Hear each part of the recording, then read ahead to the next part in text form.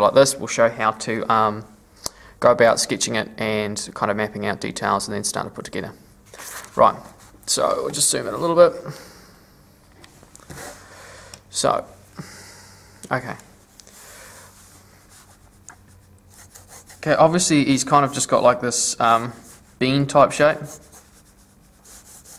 Okay, that there is pretty much the raw body form for him, for this character. Okay, so we bring them across, you can see it's this here, because then all the features kind of come off it.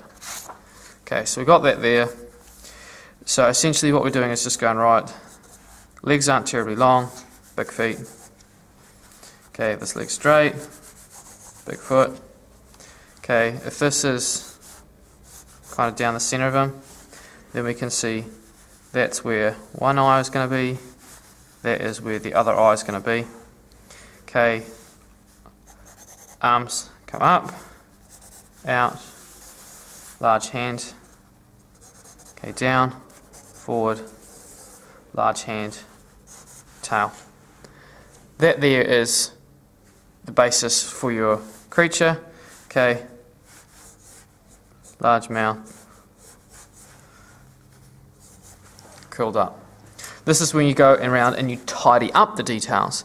So, oh, he said, right, okay, he's wanting to have a little bit more aggression in his eyes, so he's kind of like, kind of angry, but more kind of like wired, wired and comical. It's not obviously like a scary rage creature.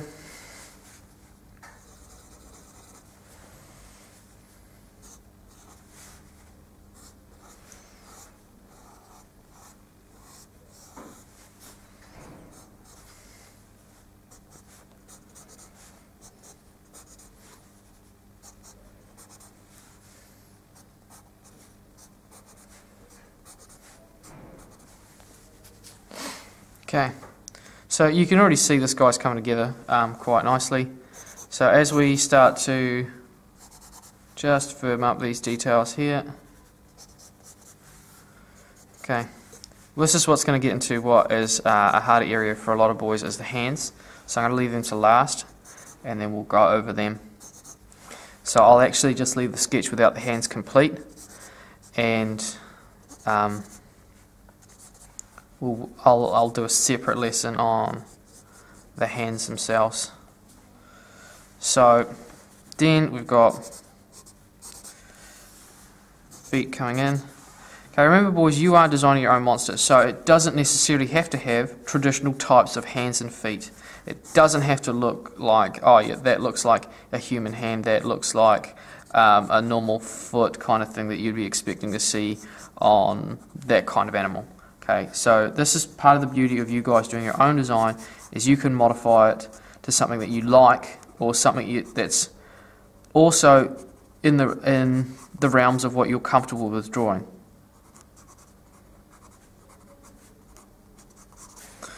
Okay, so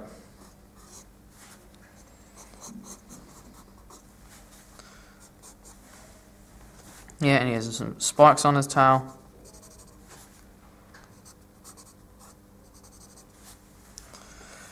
Okay, it will just firm him up.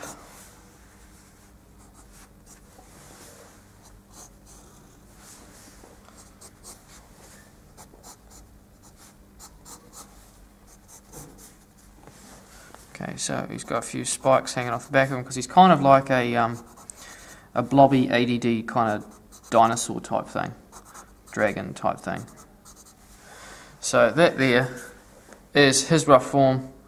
Okay, so he had a few spots on him.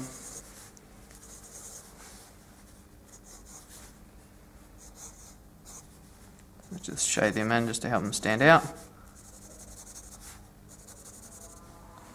Okay, now looking at his eyes, eyes kind of just don't really stand out. So what I'm going to do is just add a bit more detail to them. Okay, if he's trying to look a little bit more menacing, it's underlining the, the um, the bottom of the eyes. That kind of gives that kind of more menacing type evil look. I'm also going to just put it like um, some form of an eyebrow on him. like the eyebrow muscle, not necessarily a physical eyebrow, just to kind of help make him, I don't know, have a little bit more personality. Right, so that there as a character now is working.